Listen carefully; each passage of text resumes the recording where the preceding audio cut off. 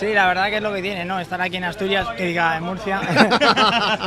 la verdad que sí, que es un día complicado. eh, ayer fue tremenda la que nos cayó, eh, la primera parte de la carrera y, y hoy, pues bueno, parece que va a ser todo el día. Luego estos días son días complicados porque hay muchísimo peligro. eh, las caídas son muy fáciles que, que se hagan porque prácticamente no se puede parar la, la bicicleta en las rotondas, en la zona costera sobre todo lo más peligroso. Vamos a ver qué tal salimos del día de hoy. Albert- Alberto, Alberto, además del frío, o sea, perdón, además de la lluvia, 8 grados en Calar Alto. ¿Es un día que es en el que se puede voltear la vuelta?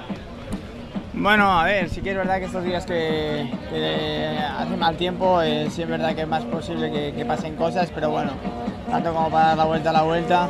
Sí que es verdad que habrá 8 grados, pero bueno, es arriba, eh, es arriba, no, no es durante la subida. Y al final también es subiendo, entonces los 8 grados quizás nos vienen hasta bien.